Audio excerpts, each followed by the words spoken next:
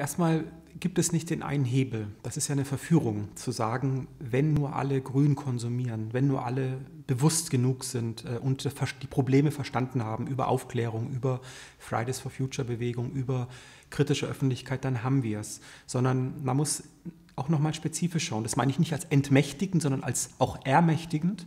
Ähm, was sind die konkreten Handlungsmöglichkeiten? Warum ich das zum Anfang sage, ist, weil ich die Gefahr sehe, dass es aktuell so eine Art Nahelegung gibt, gerade für junge Menschen.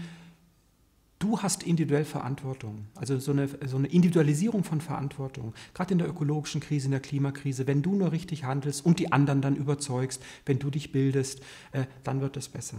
Und was wir ja aus vielen Forschungen jetzt im Bereich Nachhaltigkeit seit vielen Jahren wissen, ist unter anderem, dass es einen sogenannten Citizen Consumer Gap, eine Citizen Consumer Lücke gibt. Also dass viele Menschen, jüngere, heranwachsende, aber auch ältere, sich durchaus der Probleme als Bürgerinnen und Bürger bewusst sind, aber dann in ihrem Alltagsleben, man könnte neben dem Consumer auch sagen, vielleicht ähm, in der Arbeitswelt äh, gar nicht so handeln, weil sie sagen, Warum soll ich das jetzt machen? Und zwar gar nicht zynisch, sondern äh, was sind denn eigentlich meine Handlungsbedingungen, wenn weiterhin Kriege geführt werden, wenn die Reichen äh, um die Welt fliegen, äh, wenn China, was ja auch so eine entlastende Funktion hat, sich jetzt so entwickelt, äh, dass wir im kleinen Österreich überhaupt keine Rolle spielen.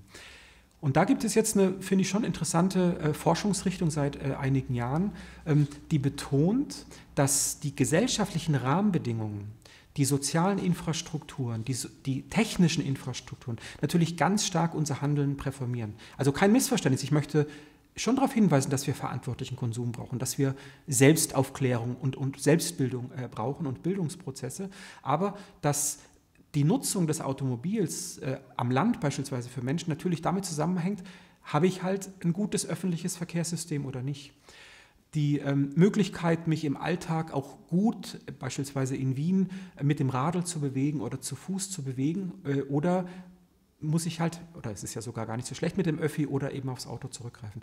Also diese Infrastrukturen, ähm, die sozialen Infrastrukturen, ähm, die ökologische Krise hat ja auch ganz stark damit was zu tun, dass eben die Ressourcennutzung äh, stark ansteigt über ähm, Statuskonsum.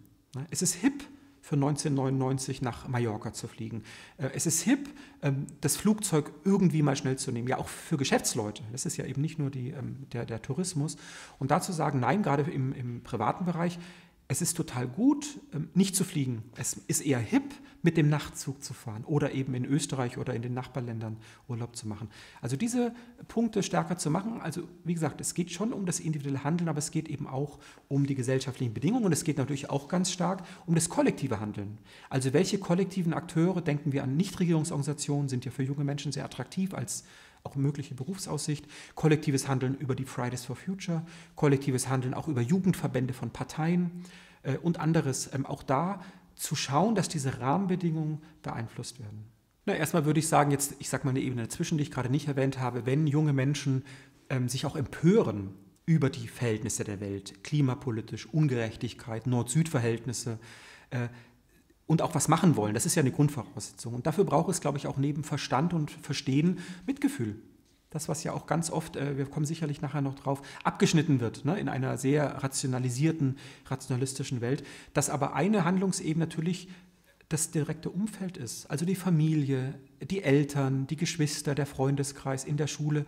Mit wem führe ich welche Diskussion? Mit wem verständige ich mich über meine eigene Weltperspektive? Also wir haben ja diesen Begriff des Global Citizenship, also eines, einer, äh, eines globalen Staatsbürgerinnenschaft, die eben jenseits der engen Identitäten, de, des engen Kreises hinaus versucht, eine Welt zu begreifen, die ich ja in der Regel über Medien begreife, aber auch mit anderen, indem ich mich auseinandersetze.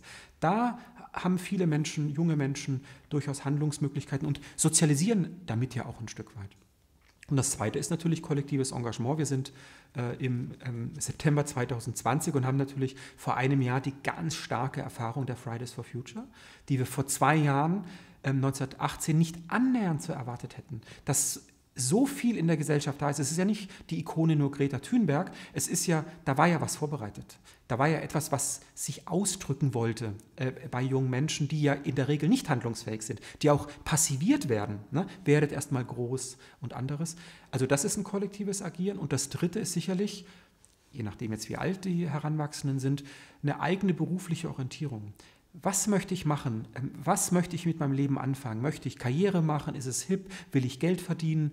Ähm, möchte ich was Sinnvolles machen? Und mit sinnvoll meine ich jetzt nicht nur ganz toll studieren, sondern vielleicht auch mit einem ähm, anderen Schulabschluss. Möchte ich ökologisches Handwerk lernen? Möchte ich in einer bestimmten Branche arbeiten, nämlich auf dem ökologischen, in der ökologischen Landwirtschaft und anderes? Also wie bereite ich mich auf ein Leben vor? Das ist ja nicht eine Ad-Hoc-Entscheidung. Natürlich spielen da die Eltern eine Rolle und andere, sondern es ist ja auch eine Entscheidung, die in der Selbstvergewisserung äh, meines Lebens stattfindet. Und da sind die jungen Menschen oder, oder wir alle ja bis heute in permanenten Auseinandersetzungen mit den Nahelegungen der Gesellschaft, von Werbeindustrie, von eben Status, Schau, dass du allein erfolgreich bist. Schau, dass du deine Ellbogen anspitzt äh, und dich durchsetzt. Schau, dass du dann auch viel konsumieren kannst. Also gutes Leben heißt ja für viele immer noch und gesellschaftlich konsumieren. Und da dagegen zu halten. Und das ist auch meine eigene Erfahrung. Ich bin auf der Insel Mainau im Bodensee aufgewachsen, also die Blumeninsel im Bodensee, und habe mich als 16-Jähriger aufgeregt, dass in der Gastronomie, wo meine Eltern gearbeitet haben, lauter Wegwerf Sachen, äh, Getränkedosen und anderes äh, produziert werden. Habe da auch einen Brief geschrieben an Graf und Gräfin, die da auf der Mainau waren. Das waren Sozialisationsprozesse, den habe ich zwar selber geschrieben, aber den hatte ich natürlich über die Schule, über Auseinandersetzung äh, mitbekommen. Und das waren so Sozialisationsmomente, die wir, glaube ich, nicht unterschätzen sollten.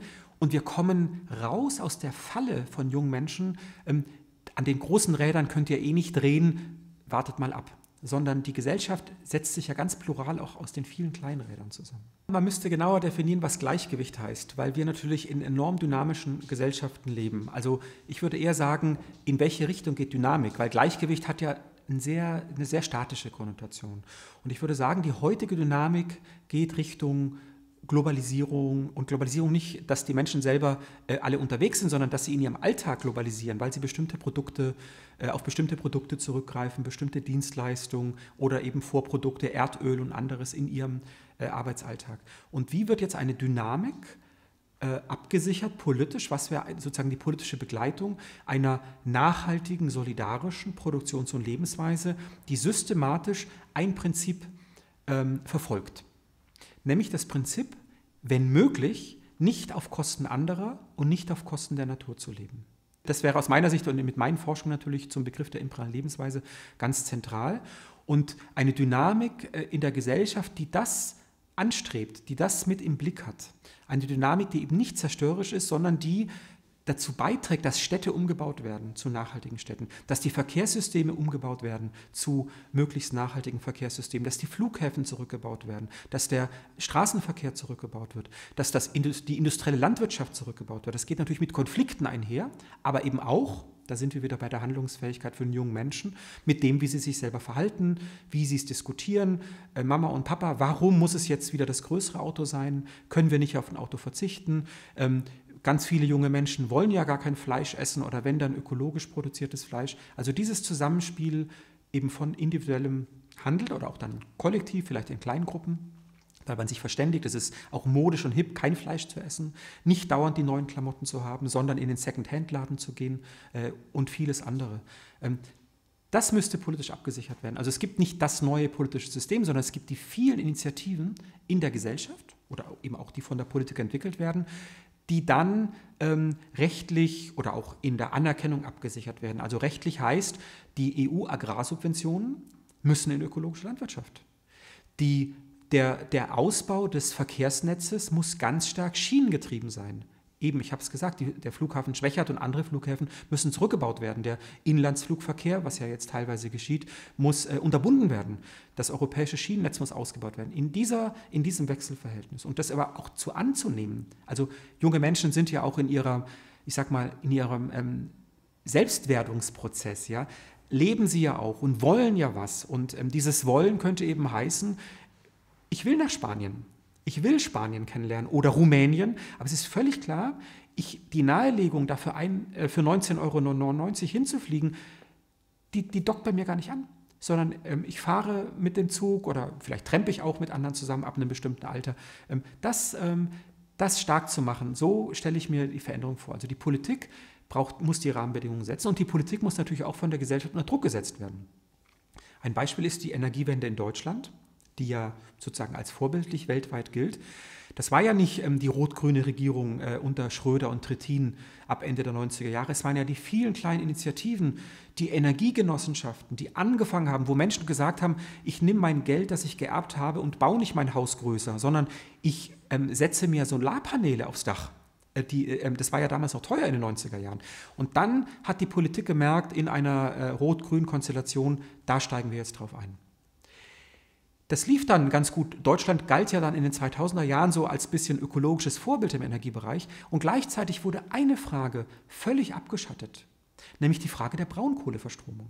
Ja, es ist unglaublich, dass ähm, ähm Angela Merkel 2006, 2007 die bereits erfolgende Energiewende ausgerufen hat und gleichzeitig hat man völlig ähm, negiert, dass der, die große Dreckschleuder in Europa, Deutschland ist mit der Braunkohleverstromung, hat es eine neue Initiative gegeben. Diesmal nicht die vielen einzelnen Menschen, die sich die Solarpaneele aufs Dach setzen, sondern die Ende-Gelände-Bewegung, die 2011 angefangen hat in der Braunkohleregion Rheinland, in der Braunkohleregion Lausitz, in Brandenburg. So geht es nicht weiter. Das politisieren wir, da engagieren wir uns, da wird unsere Zukunft ähm, ähm sozusagen aufs, ähm, aufs Spiel gesetzt. Das meinte ich auch mit meiner Eingangsbemerkung. Es gibt nicht den einen Weg, sondern in den 90er Jahren waren es die vielen kleinen Initiativen von Menschen, die auch durchaus Geld haben, wahrscheinlich eher Mittelschicht, ökologisch bewusst. Und ähm, in den 2010er Jahren waren es dann die durchaus radikalen Bewegungen von jungen Menschen, wo ja dann auch die Fridays for Future ein Stück weit mit raus hervorging, die gesagt haben, nein, das macht uns so wütend, dass ähm, Deutschland immer so tut bei den globalen Klimakonferenzen, wir sind eh die Vorreiter, aber Pustekuchen, wenn wir mal genau auf die Realität schauen. Also zwingen wir die Politik, weil sie will gar nicht, sie liefert gar nicht, sie ist ganz eng verbandelt mit den Stromkonzernen. Wir zwingen die Politik, dass sie ähm, da was anders macht. Die Politisierung äh, von ökologischen Fragen ist vor allem in unseren Ländern, das sieht ja im globalen Süden ganz anders aus, weil da ist ja die, die Erfahrung von Umweltzerstörung wirklich auch eine Erfahrung von ländlichem Raum, von Armut, von Menschen, die vom Bergbau vertrieben werden, von den Palmölplantagen vertrieben werden. Bei uns ist es, ich würde sagen, tendenziell ähm, ein äh, Mittelschichtsproblem. Allerdings muss man da nochmal genauer schauen, wie wird die Klima- und die Umweltfrage thematisiert. Wenn wir Umweltfragen thematisieren, auch als Arbeitsschutzfragen, als Fragen der Arbeitssicherheit, so wie mit Giften umgegangen wird, gibt es ja eine lange Tradition, wo auch die Gewerkschaften mit einmal ins Spiel kommen. Die Gewerkschaften haben ja große Erfolge in Ländern wie Österreich und Deutschland, ähm, dass die, die Arbeit weniger giftig ist, dass die Arbeit gesünder ist, dass die Entlüftung besser sind. Das sagt man so, das ist so unwichtig. Nein, es ist ganz wichtig. In der ähm, Sensibilisierung von Menschen. Allerdings wird das gar nicht als Umweltfrage thematisiert, sondern als Arbeitsschutzfrage. Ähm, ich mache ja viel Gewerkschaftsforschung und sozialökologischer Umbau und es ist immer wieder erstaunlich, wie was thematisiert wird. Ja? Und die Gewerkschaften haben ja auch schon im 19. Jahrhundert, in der Gründungszeit der Gewerkschaften, ging es doch nicht um höhere Löhne und kürzere Arbeitszeiten. Es ging darum, dass die Menschen äh, am Arbeitsplatz nicht verrecken. Ne? Die ganze, ähm, äh, der, der Bergbau ähm, in, in Westeuropa, ja, das waren ja ganz harte Auseinandersetzungen um Arbeitsstandards, ähm, Arbeitsqualität. Äh, und ähm, wenn man das im Blick nimmt, dann haben wir auch in diesem Bereich, den man erstmal gar nicht vermutet, als ökologisch sensibilisiert, nämlich Arbeiterinnen und Arbeiter, äh, durchaus auch ein hohes Umweltbewusstsein. Also die Entwicklung des Industriekapitalismus seit dem ausgehenden 18., 19. Jahrhundert war eine Entwicklung auf Kosten der Natur. Das muss man sagen. Die Ressourcen sind vernutzt worden, aber gleichzeitig gab es immer Aushandlungsprozesse, Konflikte. Wie findet es statt? Also wenn wir uns London 1850 vorstellen, muss das grauenhaft gewesen sein.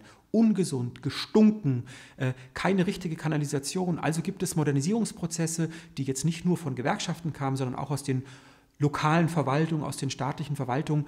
Ähm, das geht so nicht weiter, weil die Menschen sterben, weil wir Krankheitsprobleme haben. Also gab es Modernisierungsprozesse, die Städte sauberer zu machen, die Fabriken besser zu machen und anderem. Erstmal war das ähm, äh, große Erfolge. Und gleichzeitig sind in England, in den kontinentaleuropäischen Staaten, in den USA die Umweltprobleme eher in den Ländern ausgelagert worden, eben aufs Land. Wo wird, wo wird die Kohle gefördert oder früher noch, wo wird das Holz geschlagen, wo kommen die Ressourcen her? Und man kann sagen, dass die der, die große Errungenschaft der westlichen Gesellschaft, nämlich sowas wie Sozialstaatlichkeit, wie Anerkennung der Schwächeren.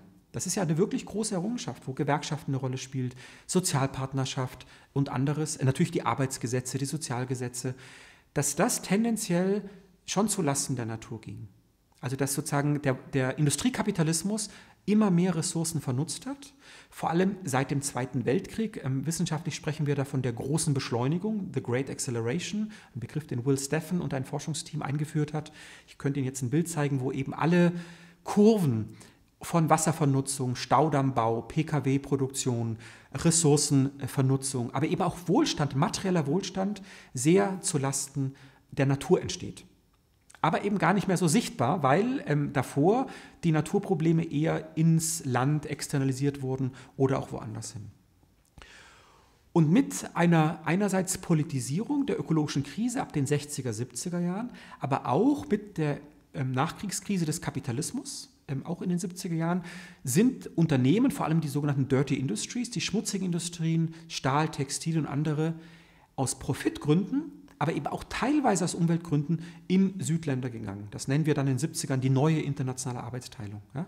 Noch kein Schwellenländerphänomen, sondern erstmal die Unternehmen gehen mit vielen schmutzigen Industrien in den Süden oder eben auch traditionell Bergbau, Kohle, Gold wird eben eher in anderen Ländern äh, produziert. Da kommt, ähm, was Markus Wissen und ich sagen, die imperiale Produktions- und Lebensweise zu sich selbst. Da wird sie auch internationalisiert. Also es geht los nach dem Zweiten Weltkrieg, aber viel sichtbarer dann in den 70er, 80er Jahren. Und das schafft auch eine gewisse Stabilisierung der Verhältnisse hier. Also die Umweltbewegung hat gegen ihre Absicht natürlich, also ganz wichtig, gegen ihre Absicht, aber dazu beigetragen, dass es natürlich hier auch ein Stück weit die Lebensqualität steigt, aber eben zu Lasten von Südländern, weil dort eben schmutzige Industrien sind, die Ressourcenvernutzung nochmal intensiviert wird. Und in den 90er Jahren, das, was wir als dritte Phase der Globalisierung bezeichnen, also die erste Phase 70er Jahre, die ich genannt habe, die zweite Phase natürlich Fall der Mauer, 1989, Osteuropa öffnet sich und die dritte Phase dann ab Mitte der 90er Jahre, der enorme Take-off von China, äh, Indien und anderen, äh, wo dann nochmal die internationale Arbeitsteilung intensiviert wird und vor allem neue Technologien, also die Informations- und Kommunikationstechnologien, ähm, da nochmal sehr stark in den Südländern produziert werden. Handys, äh, Computer und anderes, alles, was heute unseren Alltag bestimmt und die Ressourcen auch weitgehend natürlich aus den Südländern kommen, die Arbeitsbedingungen schlecht sind, die Umweltbedingungen schlecht sind. Also könnte man sagen, also ich negiere nicht, dass es hier Ausbeutung gibt. Es gibt hier Fleischfabriken, es gibt ähm, schmutzige Landstriche, aber tendenziell ist natürlich gerade äh, die Umweltzerstörung, ich rede jetzt nicht von Klimakrise, das ist was anderes, ne? aber die erfahrbare Umweltzerstörung hier natürlich längst nicht so dramatisch wie in Teilen von Osteuropa, wo dann wirklich äh, Flüsse dreckig sind oder in Teilen des globalen Südens. Und diesen Zusammenhang zu begreifen, nicht zu moralisieren, also nicht zu sagen, hier du knie nieder, du kannst nichts machen, sondern unser Argument in der imperialen Lebensweise ist ja, sie ist teilweise attraktiv, also Menschen hier haben mit allen Unterschieden vom Einkommen Zugriff auf die Welt durch das Handy, durch das Reisen, durch die billigen Klamotten.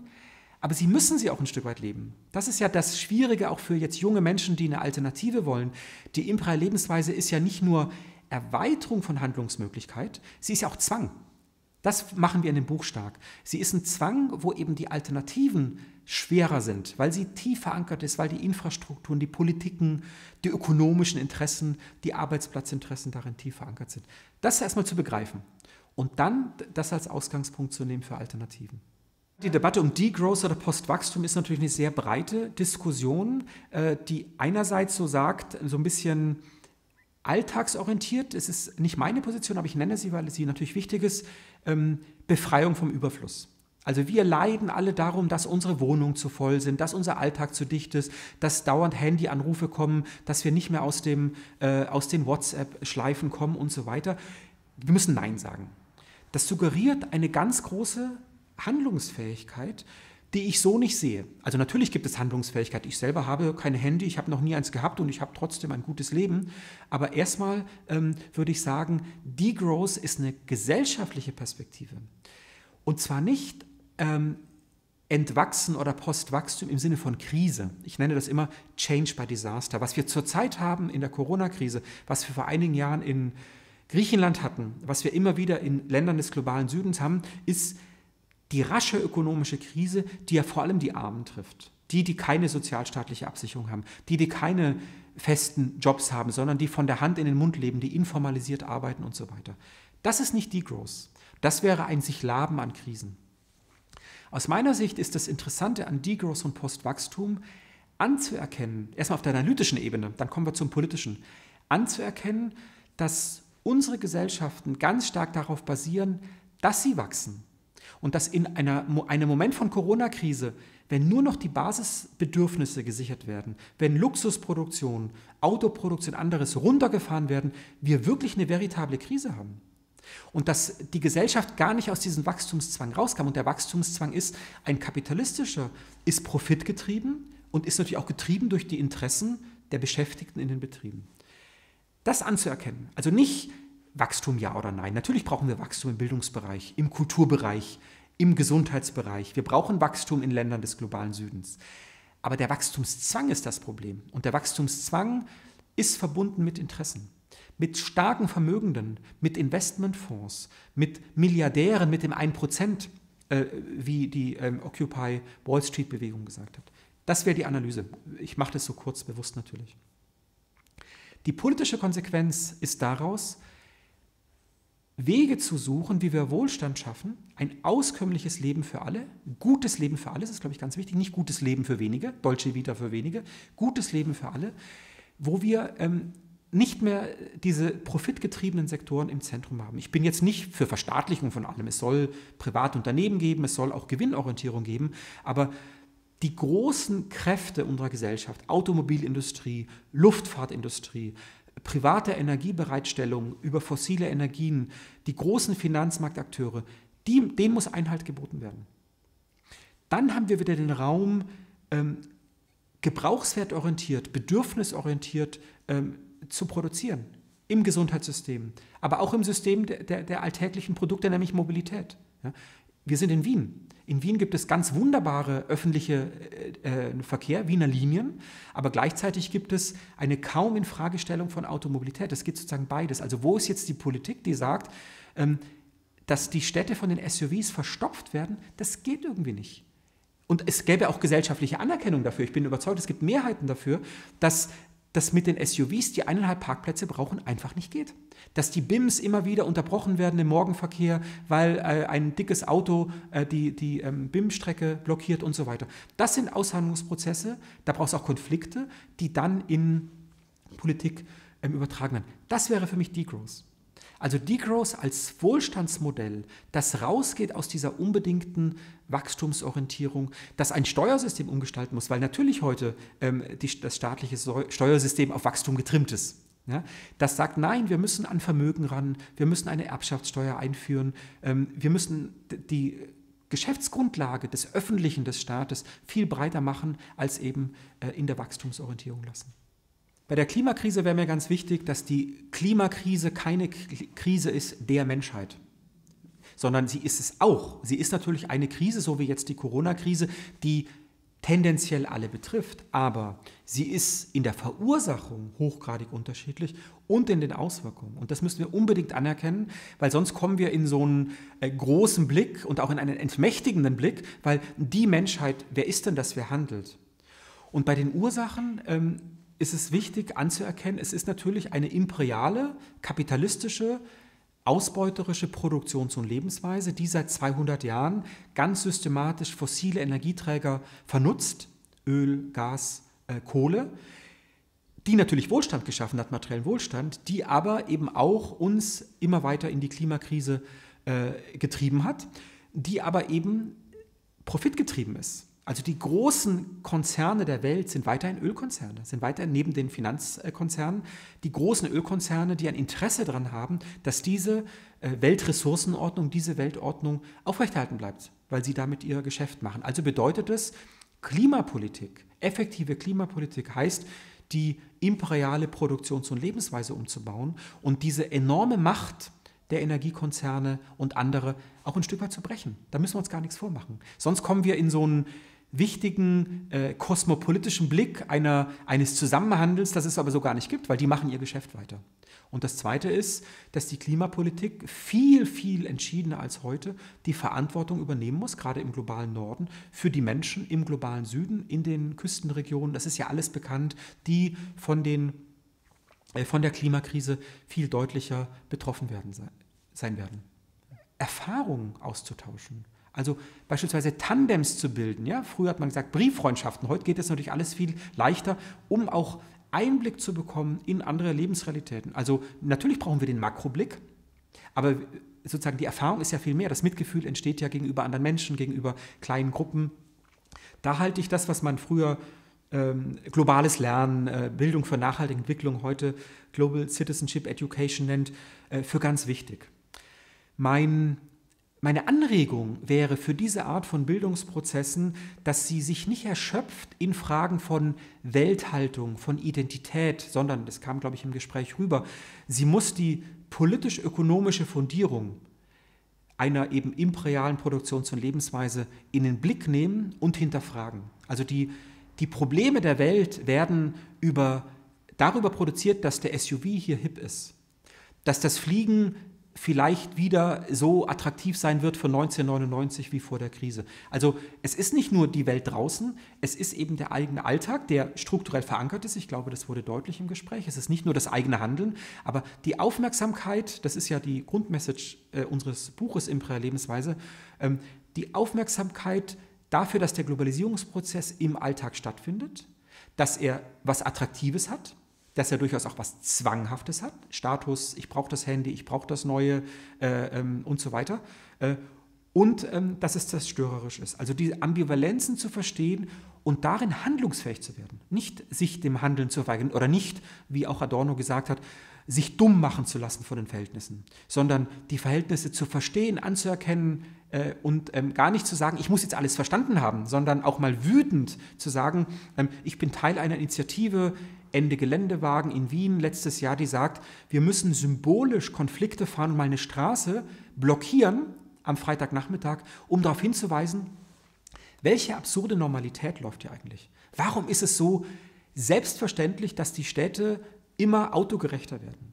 Dass die Autos immer größer werden, obwohl alle sagen, äh, wir müssen was gegen Klimawandel tun und so weiter. Äh, also jetzt auch da wieder nicht die Individuen des, des SUVs anzuklagen, obwohl ich auch das kritisieren würde, weil ich das für kopflos und zynisch halte, ein SUV zu haben. Aber die gesellschaftliche Bedingtheit, warum ist es so hip?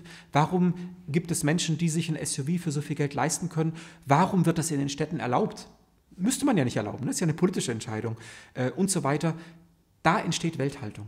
Das ist für mich Global Citizenship. Also im Einzelnen zu schauen und in den Auswirkungen woanders die Überlegung Jung und Weise sehr attraktiv und musste erstmal schmunzeln, äh, wie ich da zum ersten Mal darüber nachgedacht habe, weil wir ja bei Weisheit und Weise oft an Erfahrung denken. Und die ist natürlich bei jungen Menschen sehr stark vermittelt, notwendig, weil sie am ähm, Beginn oder in der ersten Phase ihres Lebens sind, ähm, vermittelt über Bildung, politische Bildung, Schule, über Eltern, über Freundeskreis.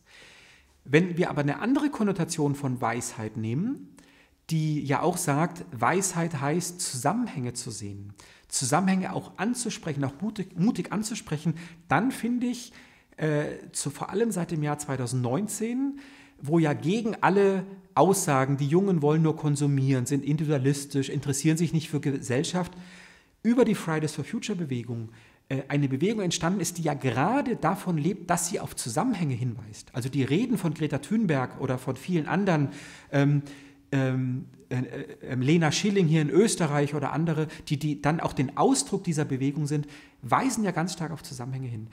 Viel mehr als Ältere. Ältere, die sozusagen ganz parzelliert in ihren Fachdisziplinen denken, in ihrem Alltag denken, in ihrer Professionalität denken. Äh, und da finde ich Jung und Weise seit letztem Jahr, also seit 2019, enorm attraktiv zu denken, weil äh, die Fridays for Future Bewegung die Gesellschaft wieder darauf hingewiesen hat, wir müssen Zusammenhänge denken, wir müssen Zusammenhänge ansprechen und wir müssen auch mal wütend werden. Wie nämlich die Zusammenhänge unterbrochen werden, weil immer mehr produziert wird, werden die Zusammenhänge zur Natur unterbrochen. Weil immer mehr konsumiert wird, ist es mir egal, wie das Fleisch produziert wird.